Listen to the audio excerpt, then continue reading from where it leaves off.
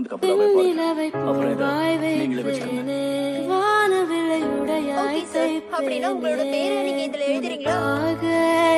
செய்வேன்.